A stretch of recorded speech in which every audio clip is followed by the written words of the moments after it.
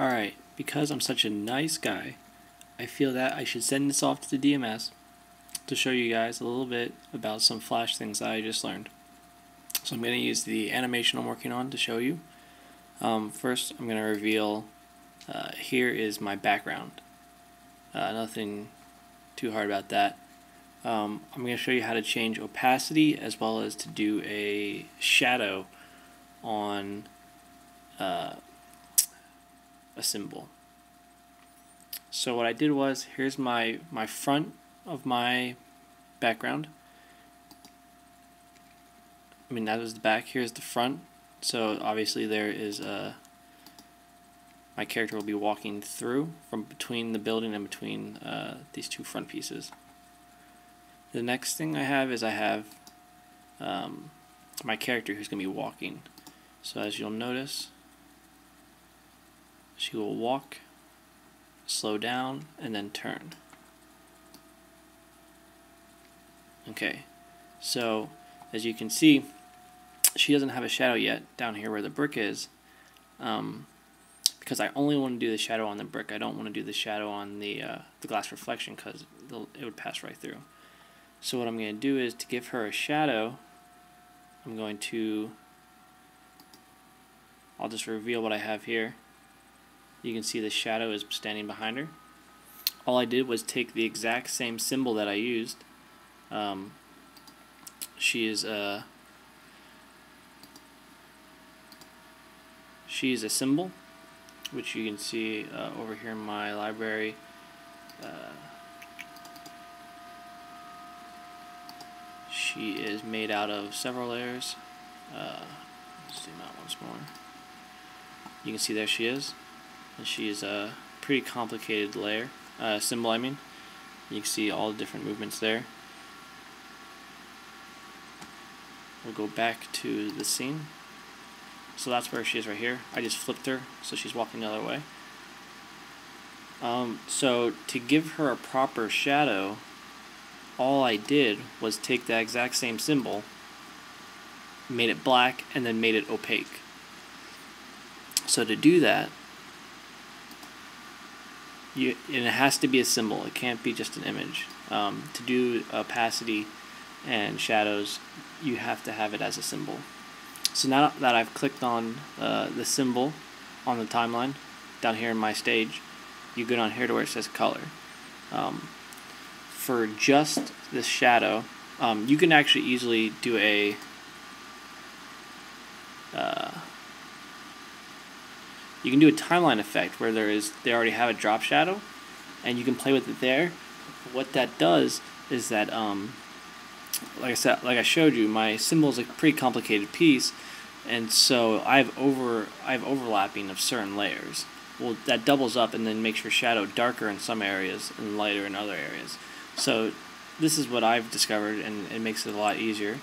Um, so if you just completely, pretty much copy uh, my walking layer, and then on that certain on the shadow piece, you say advanced over here down here in colors.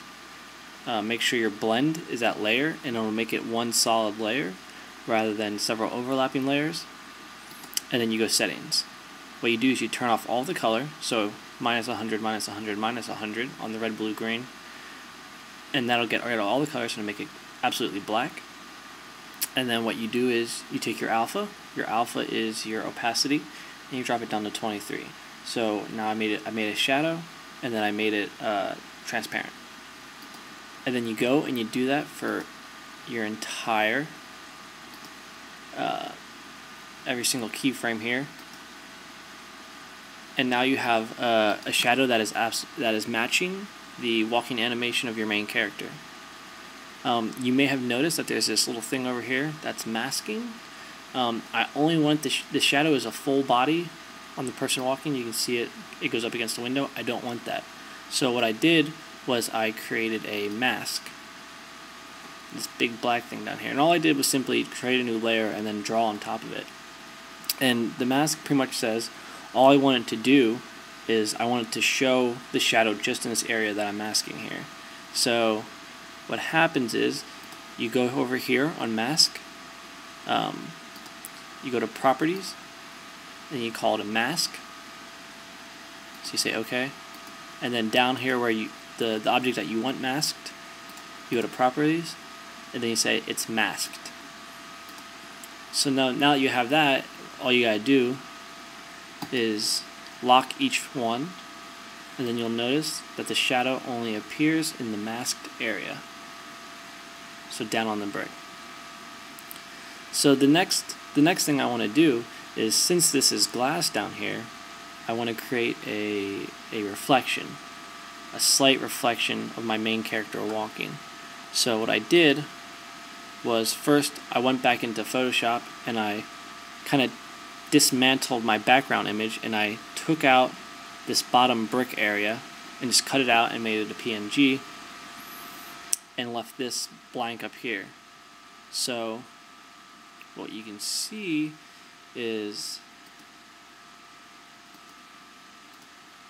I just have that. And the way I layered it is that that is standing on top of my reflection. That's between my reflection, uh, the building front is on top and my building is on bottom and my reflection is sandwiched between it. That way you only see uh, the top half of the reflection or what's in the window. Reflection is the exact same thing I did for uh, for the shadows, except for this time I just did it slightly different. Instead of making it black, I just made it opaque. So you click on your symbol again. You go down here where it says color. Make sure your blend is that layer. If you don't um, use uh, a, a layer blend, it'll again double up on your whatever your images are overlapping inside your symbol. So this one's just a lot easier than the shadow you just, you just tell it alpha and you tell it that I want it 31% opacity and it will um, as you can see it'll just take the image and make it opaque and then once that's all done what you have is you have your shadow on the lower half down here and you have your window reflection up here now and um, it seems to work out pretty nice. And also uh, a little cheat, because I only offset the uh, the window reflection a tiny bit, so that way when she turns, I actually didn't have to animate her face. So pretty much, um, mostly what you see is just the exact same image instead of her reflection. And I lucked out with the reflection as she's walking because pretty much her other half of her body should be exactly the same. So I hope this helps, and if you have any questions, just let me know.